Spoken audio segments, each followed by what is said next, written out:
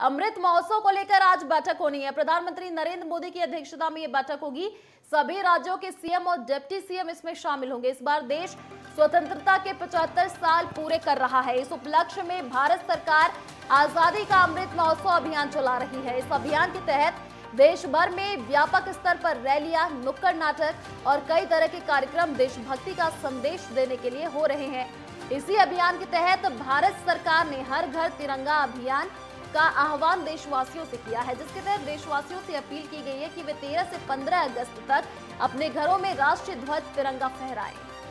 तो अमृत महोत्सव को लेकर के आज बैठक हो रही है। प्रधानमंत्री नरेंद्र मोदी की अध्यक्षता में ये बैठक होनी है। बैठक काफ़ी महत्वपूर्ण। सभी राज्यों के सीएम और डिप्टी सीएम इसमें शामिल होंगे। तो अगर बात करें सीएम योगी आदित्यनाथ, आज दिल्ली दौरे पर रहेंगे। प्रधानमंत्री नरेंद्र मोदी की अध्यक्षता में बैठक होनी है। सीएम योगी आदित्यनाथ भी इसमें शामिल होंगे। सभी राज्यों के सीएम और डिप्टी सीएम इसमें शामिल होंगे। तो अमृत महोत्सव को लेकर के आज ये बैठक, और ये बैठक काफ़ी महत्वपूर्ण मानी जा रही है, क्योंकि प्रधानमंत्री नरेंद्र मोदी की अध्यक्षता में ये बैठक हो रही है। और इस बैठक में सभी राज्यों के सीएम और डिप्टी सीएम शामिल होंगे। अमृत महोत्सव को लेकर के ये बैठक होनी है, और ये बैठक काफ़ी महत्वपूर्ण मानी जा रही है।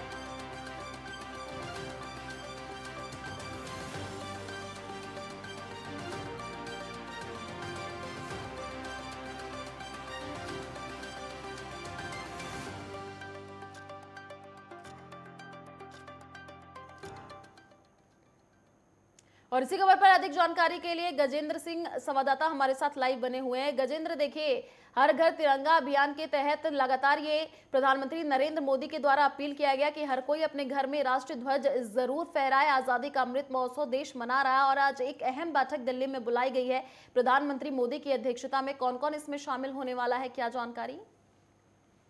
जी, बिल्कुल, अगर बात करें तो राजधानी दिल्ली में आज आज़ादी के अमृत महोत्सव को लेकर प्रधानमंत्री नरेंद्र मोदी की अध्यक्षता में मुख्यमंत्रियों और उप मुख्यमंत्रियों की बैठक होगी।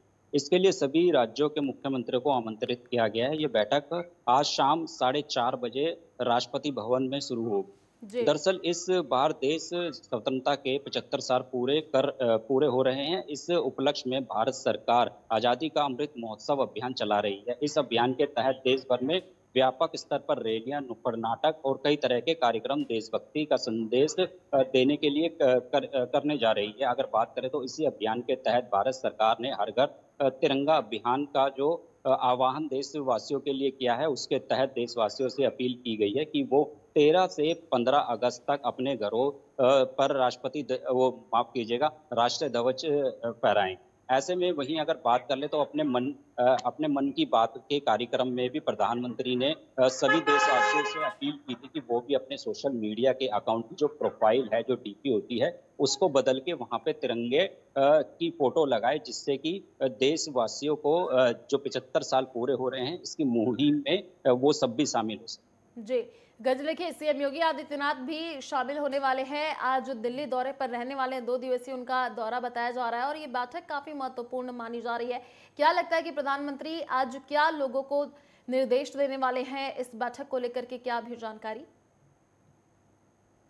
जी, बिल्कुल, इसमें ऐसे, जो पचहत्तर साल देश के पूरे हो रहे हैं, उसको देखते हुए अमृत महोत्सव मनाया जाए, उनकी जो तैयारियाँ होंगी और लोगों को किस तरीके से ध्वज अपने घरों पे फहराने हैं और किस तरीके से कार्यक्रम जो किए जाएँगे, उनकी क्या रूपरेखा रहेगी और किस तरीके से उनको पूरे देश भर में फैलाया जाए और किस तरीके से देश के हर नागरिक को इस जो ये कार्यक्रम है ये अमृत महोत्सव जो है इससे जोड़ा जा सके। इसको लेके अहम चर्चाएँ रहेंगी अहम यही देखिए आज अहम चर्चाएँ रहने वाली है। प्रधानमंत्री नरेंद्र मोदी की अध्यक्षता में ये बैठक होगी और काफ़ी महत्वपूर्ण ये बैठक मानी जा रही। चलिए गजेंद्र शुक्रिया तमाम जानकारी साझा करने के लिए।